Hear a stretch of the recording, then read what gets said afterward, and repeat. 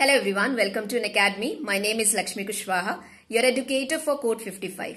In this video, I'm going to explain the term conciliation officer.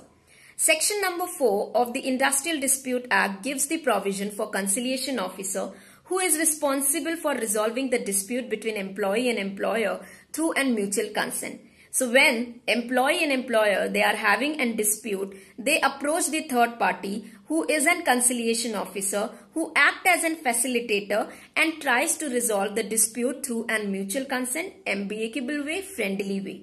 The conciliation officer is supposed to send the report and the memorandum of the settlement to the appropriate government within 14 days. This conciliation officer can be permanent or temporary in nature.